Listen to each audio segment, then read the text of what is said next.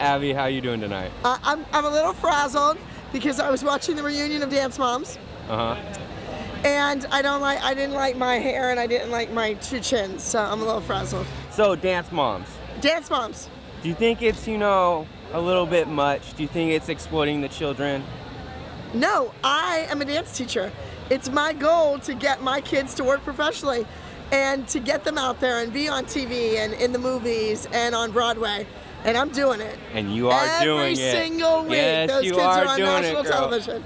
Now- you know, it's not since uh, Solid Gold Dancers and then Fly Girls has there been dancing on a weekly series. That's a big deal. It is a big deal. Yes. Now, what do you think about Honey Boo Boo? Have you watched the show? Yeah, not much. She needs to get in shape. She needs to be at a dance studio. She needs to be training. She needs to work on her turnout. The whole nine yards.